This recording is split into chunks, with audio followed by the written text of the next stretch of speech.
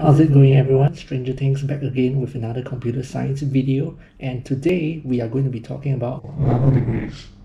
So if you're curious about getting a nano degree, maybe it's one of your goals or in the process of getting one, this video is for you, so stick around. So before I continue, I would just like to announce a piece of good news. I was actually offered the nano degree program following my Udacity scholarship, which you can find out more about here and I strongly recommend you to watch that video so you can fully appreciate everything that I'm going to be talking about here. Now, all the stuff I'm going to talk about is referenced on my nano degree experience with Udacity, though I believe most of my pointers will apply to nano degree programs by other education providers.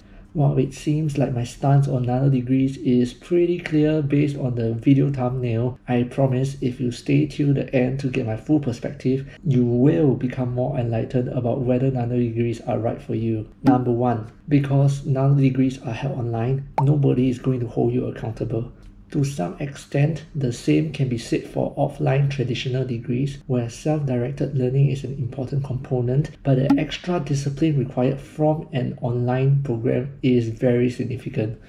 Udacity did try to get students to insert reminders on keeping to their study schedule, but I don't think that the reminders are very effective because they are unfortunately incredibly easy to ignore. And when life happens, you will find excuses to justify your busy schedule and why you don't have time to work on your nano degree, and before you know it, it will be too late. Number two, the impact or value of the nano degree on your CV is questionable. Most nano degrees only state that you have completed the nano degree without an indicative grade like A, B, C, or first class, second class, third class. So it is not immediately apparent what the caliber of the graduate is. Project quality can vary drastically from one graduate to the next, and after hiring managers sniff such issues out when examining GitHub projects or during interviews, it can really deflate the credibility of the nano degree.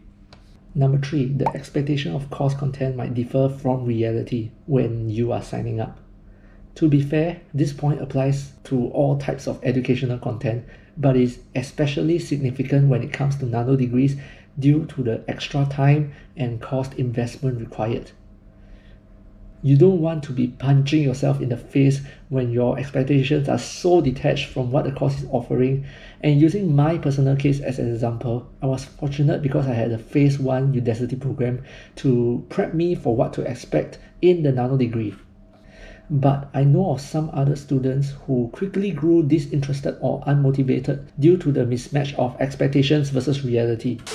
Okay, so after throwing all the shit at nano degrees, I do have to highlight that there is some good to nano degrees. It's not all doom and gloom. At this point, I would like to just make a quick plug that I recently completed my first ever nano degree with Udacity and it does demand a pretty high level of commitment and understanding. I really felt a huge confidence boost in using Microsoft Azure for machine learning, and I can safely say that the projects in the Nano degree were some of the most interesting ones I've worked on in my short lifetime of doing projects under MOOCs. Also, besides covering the machine learning content, the Nano degree also offers career related support such as improving your CV, your GitHub profile, and preparing for interviews as I'm not really looking for jobs now, I've only accessed about 50% of the content, but I can appreciate its usefulness for new graduates. So, after all this back and forth rambling, should you or should you not try for a nano degree? My answer is yes, meaning yes, you should try it, and only if you have solutions to the three problems I mentioned. For example, number one, how are you going to hold yourself accountable to meet the schedule? And when the course is over, how are you ensuring that you are going to continue being active in this space that you are learning about instead of fading into oblivion?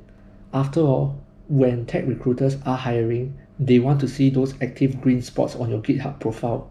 Number two, how are you going to validate that nano degree's credibility on your CV? My advice continue to contribute to open source projects, and over time, start initiating some of your own projects and let your interest shine. Don't just be a paper chaser and really seek to understand the meaning behind the code you are using, which is something I hope to focus on next as well.